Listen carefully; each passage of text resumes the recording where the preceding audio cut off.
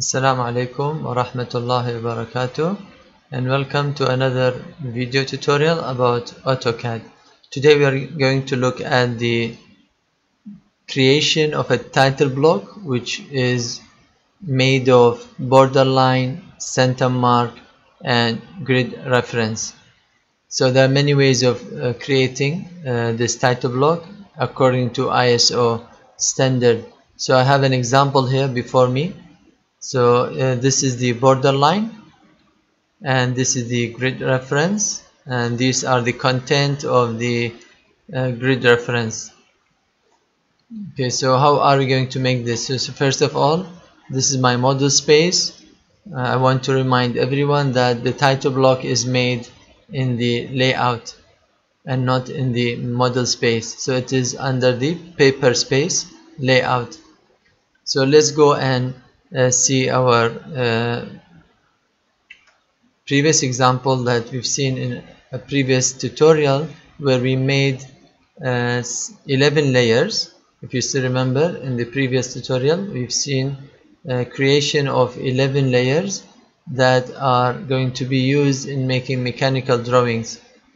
So if you if you do have them that's that's good. If not then you need to make one uh, and then proceed to finalize your uh, title block.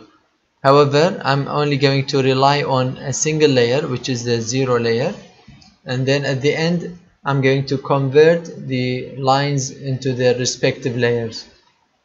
So I have a couple of tabs. I can remove the extra ones. And I can rename the remaining one. And maybe I call it title block ISO or ISO title block okay so the first of all uh, this is my port view. So if I do have any drawing inside the model space it will show up in my port view. And this port view is uh, resizable. And you can actually copy and paste the port view many many times. And each port view represents its own However, I remind you if you delete this circle here, it will remove it from all the other port views. So you can redraw it back here. So to the way to access the port view is by double clicking inside and to get out of it remove the mouse from the inside and then double click outside or else you can use this icon paper model paper model.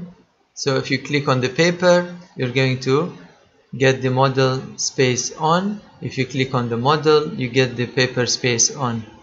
So the paper moves the paper around and the model moves the model around.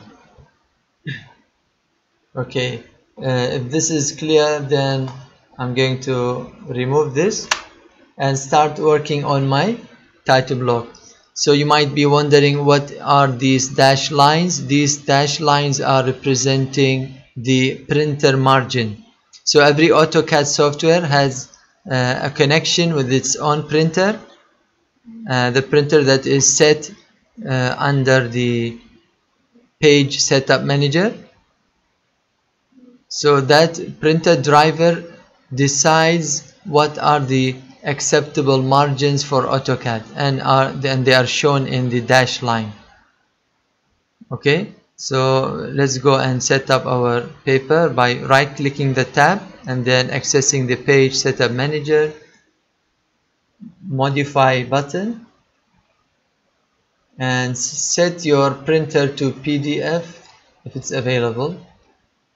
Adobe PDF and then set your paper to A3 and this affects our title block. Uh, we are going to make a title block which is designed for A3 paper size. And then I'm going to select OK. And then close this dialog box. So you can see that when I updated my printer version to Adobe PDF the margins have been updated by AutoCAD software. Uh, regardless what are the margins uh, in our software uh, we're going to make the title block uh, in a, in a way that doesn't depend on these margins. Okay so how to make the title block? First of all we're going to select the rectangular shape command and then we're going to zoom to the bottom left corner and we want to zoom as much as possible until we feel confident enough to make the selection of the corner. Start drawing zoom out as much as you can and then move to the top right corner and then again zoom to the most that you can and select the corner. Go as close as possible to the corner and then click OK. Zoom out yes. So we might see the line to be thick. This is due to the option of line weight on. So I'm going to switch this off. Again I repeat this is the thick line is shown here because of the toggle button line weight. So you need to switch off this off. Okay. Once we are done with the frame around the A3 paper I'm going to do an offset command offset command or you can just simply press O and then select enter and then uh, define the space or the distance of offset which is 10 mm or 10 units. Enter and then select this rectangular shape and move inward and select OK. So now I have uh, a border line which is 10 mm from the edge of the paper. And this is according to ISO document. Uh, if you still remember uh, in some of our classes we've talked about the specification of an ISO title block which defines that the border line should be at a distance of okay so this is an example. This is an example of an ISO uh, standard where it specifies 20 mm from the left edge 10 mm from the top 10 mm from the right 10 mm from the bottom. And the title block should be uh, on the bottom right corner and this is the border line all around. So this is what I'm actually doing. So I need to move uh, this line 10 mm extra towards the right. And how can I do this while this is in one piece? I need to break this down or we call it explode in AutoCAD. Explode the rectangular shape press enter and it will be broken apart. So you can move this 10 mm to the right. Or you can just even offset it to the right. So offset 10 units enter and then select this line move to the right. So here you go. You have a 20 mm distance from the left edge. Remove the old line and then try to trim the extra trim. Enter. Enter again and then remove the extra line. So I have done my border line next I need to define my center marks and the definition of a center mark in ISO document is a center mark is something that is in, right in the middle of the paper. Right in the middle of the paper meaning if you fold the paper into half then that line would lie on the folding line. Okay? So I'm going to remove this and uh, start making my center mark. So the center mark is actually lying at the midpoint of the paper edge. So from here I'm going to uh, object track all the way to, to the border line and then click and start making a 5 mm line.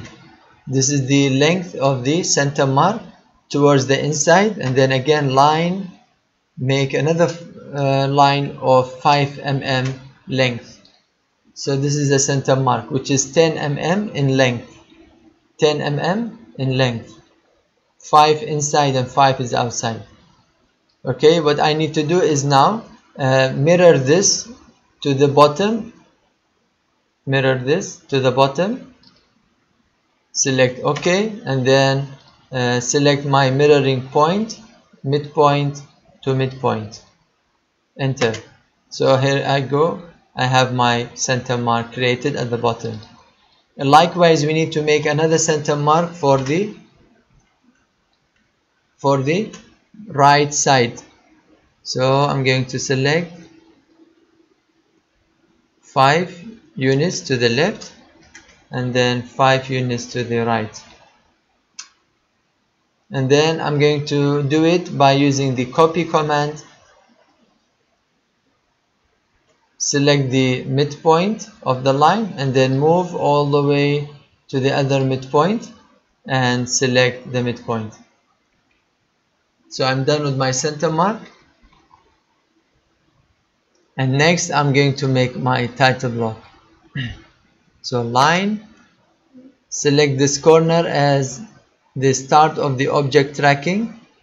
Don't click just select. And then move to the left press 170 which is the maximum width of a title block in ISO and press enter. Go all the way up. Make sure you have either ortho on or polar on to keep your lines uh, in control.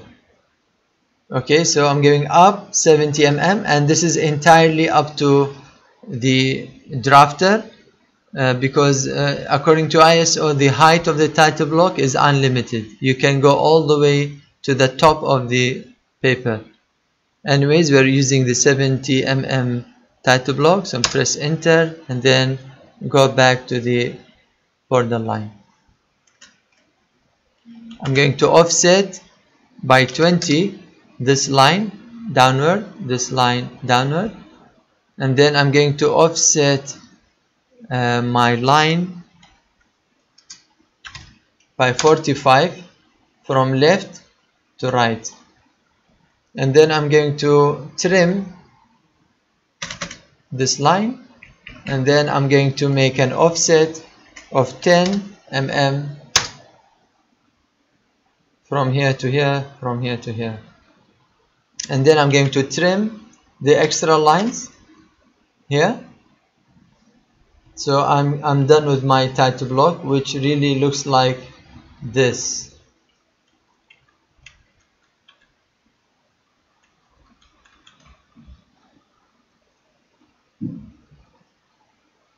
So actually I'm trying to make this title block according to these dimensions 70 170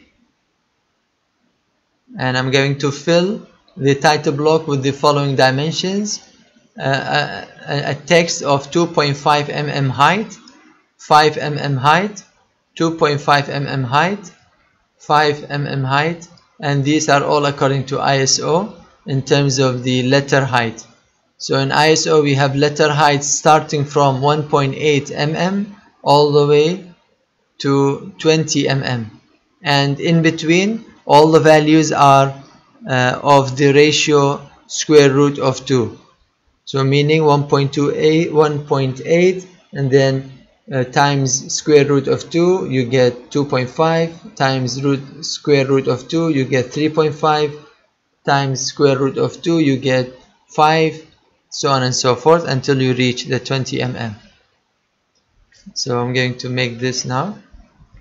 So I'm going to select single text single line text select anywhere and then set the height to 2.5 enter the angle should be 0 enter and then start writing in capital. Make sure everything is in capital. Press enter twice and then relocate uh, freely the the text around the title block and from now on you can just select copy and paste this everywhere.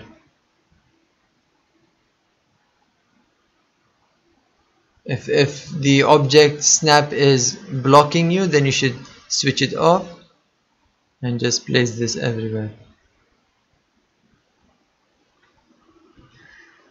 okay we can look at this. The sizes are 2.5 2.5 and then I have two other texts 1.8 and 3.5 and lastly 5 so I need to set them. So a single text and then the height is 1.8 and I'm going to write a date uh, the day and then month and then year and then place it somewhere here. And then copy this again and place it somewhere around here. And edit the content to be sheet number 1 over n. N refers to the number of sheets. So this is this is the first sheet of that number and then uh, I need another text which is made of again height of 3.5 enter enter which is A3 paper size and place it somewhere here. Yes and I need to uh, edit the text scale 1 to 1 material so this should be uh, scale 1 to 1 and this is material. And this is title. And this is drawing number. And lastly I need to create a text which is 5 mm in height and it contains name of owner yes and you should place it here. And then copy this down place it somewhere here again here. So this should be my first title block. And this is my drawing number. Okay for uh, your information drawing numbers are uh, alphanumeric uh, writings that are a short form of some uh, you know of some understanding. For example uh, first drawing.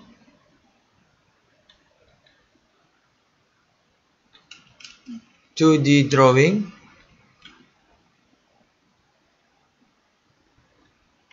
Part 1 year 2000 sorry year 2020 okay so for example this one is uh, an abbreviation or an acronym which we call it as drawing number uh, 2D drawing of part 1 for the year 2020 so it could be any alphanumeric uh, writing that is understood by the draftsman. Okay then next we need to put our uh, projection angle. Uh, and for that we are going to depend on projection angle in ISO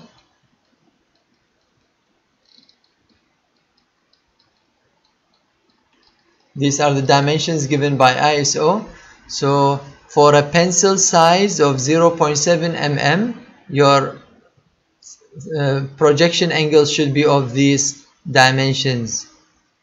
So h small h 7 mm this large the capital h is 14 mm so you can reconfigure your uh, projection symbol according to this uh, new dimension and 3 times d. D refers to the diameter of the pencil. So in our case it is 0.7 mm so 3 times 0.7 is equal to 2.1 mm so back to our drawing board. Uh, let's let's make our uh, projection symbol. So the diameter is 7 uh, object snap is on select the center of the circle and make another circle with a diameter of 3.7 sorry with a diameter of 14 and then select line. From here move all the way 2.1 mm that is 3 times diameter 3 times 0.7 and then move up uh, 3.5 and then enter to end the command. Again make a line starting from here move to the right a distance of 14 mm go up 7 mm and then connect these two points and you need to mirror mirror this object to get your final projection angle symbol. And then you need to move. Move the whole thing inside center it around the space provided. So here you have a complete ISO title block. Sorry I have missed some lines so I, I needed to have some line here. Uh, again I needed some line here. Uh, you can center this. And you can write here for example not applicable okay so we are done with our title block except for the grid reference. So what is a grid reference? A grid reference is a rectangular shape that starts you can set that rectangular shape by selecting the endpoints of this center mark. Yes so you're going to be sorry again select this. Yeah this is the start and go all the way up. Again select the endpoint here select the endpoint here and then go up and you get tracked down to here. Okay done. So what is a grid reference? Is a line is a rectangular shape that goes all the way around the border line with a distance of 5 mm all around 5 mm so if you check again using the measure distance from here to here 5 check here again. Distance from from here to here 5 so everything is okay. And then uh, every grid reference comes with letters and numbers all around it. And before that we need to make the compartments where these numbers and letters are confined. So for example I need to copy this line enter select the base of the line and then move leftward and then type in 50 and then again type in 100 and then type in 150 so here I have my three compartments each at 50 mm distance according to ISO 50 mm 50 mm 50 mm and then you can uh, mirror this. Mirror these three lines all the way to the other side. However before doing that uh, I want to fill in the letters first or the numbers. So I'm going to select a single line write a text of a height equivalent to 2.5 which is smaller than the gap available between the borderline and the grid reference. So I'm going to write 1 and this one should be sitting at this approximately select the center location and then copy copy this down to here and here as well. And here as well. And then you can uh, change the content of it to 3 4 and to make your job easier you just uh, need to mirror this whole thing all the way to here and then change the content of it. 5 6 7 8 sorry 8 okay. So once you are done with this you can uh, mirror this down to the bottom so here you have it. 1 2 3 4 5 all the way to 8 so likewise we're going to create another one on the left side. So single text uh, 2.5 in height 0 angle and then write a in capital.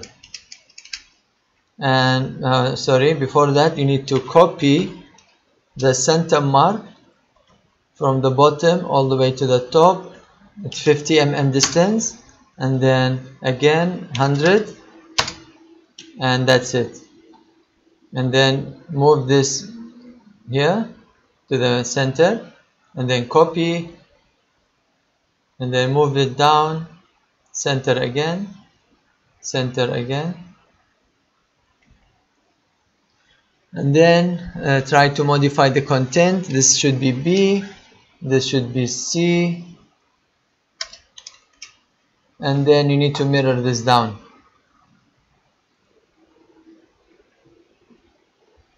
Yes. And modify. This is D.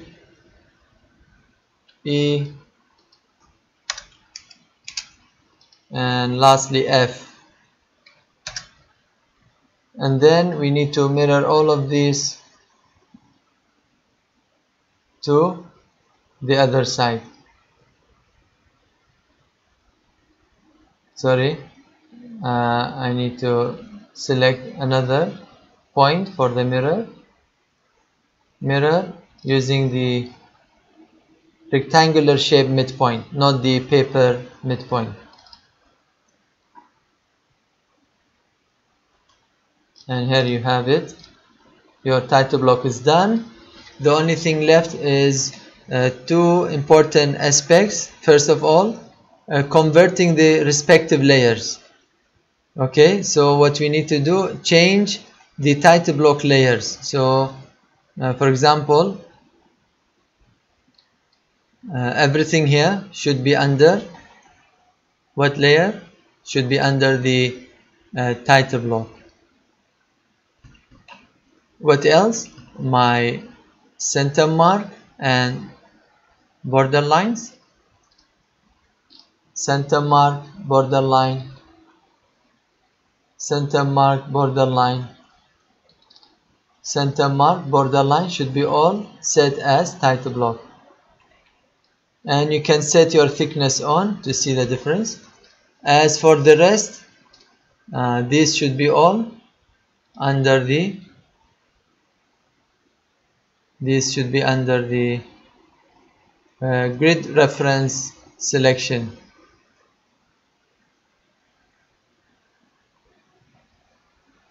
it's quite tedious. There are other better ways to do it.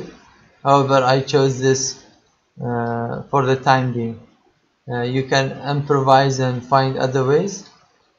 Uh, in fact I used to make the layers first and then make the drawing and select the grid reference. Okay uh, I left this out. Need to select them again. Grid reference. And then you can check whether you've made any mistakes or not by going through the layer walk. Layer walk. Okay so move through the title block layer and check whether anything is missing. So I have four center marks I have all the border lines intact and complete.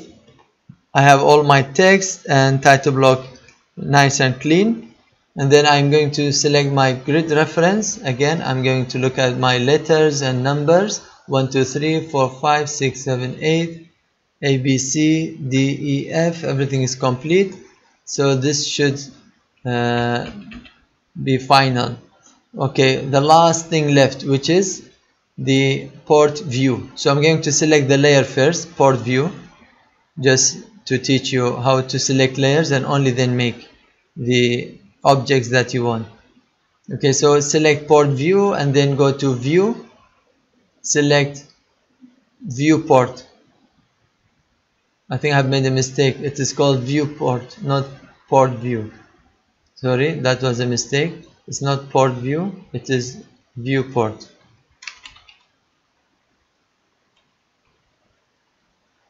yeah it is view. Viewport. Yes that is the correct name.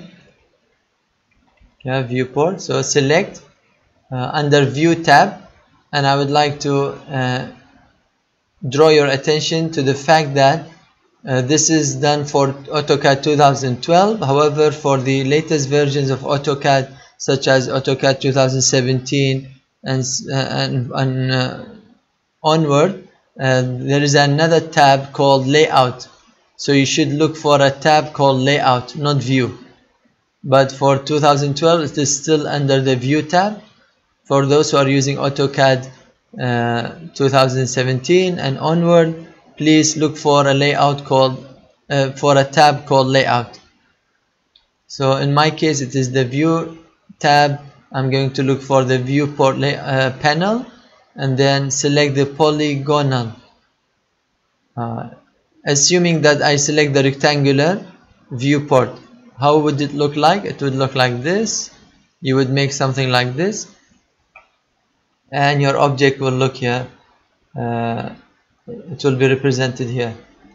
However I will have uh, a, a, misused place or a wasted place here. So how to avoid this we are we can avoid this by using the other type of viewport which is called polygonal. So you can uh, draw here up to here and then go down up to here up to here up to here. Uh, before making this you need to take an object tracking point. Yes and then back to here enter yeah so this is much better in terms of uh, space saving. So I can utilize every single space in my drawing paper. Uh, that's why I prefer to use polygonal viewport so you can use your space. So this is a very interesting uh, video tutorial where we've seen how to make the title block according to ISO standard and how to make the viewport finally uh, using the polygonal type. And uh, from now on you can just copy and paste this uh, tab and create other tabs for your drawings. And you can rename them as 1 tab 1 tab 2 so on and so forth uh, to create so many tabs that you want to use them in the future so I hope that uh, this tutorial was quite helpful. Uh, thank you so much for now and hope to see you soon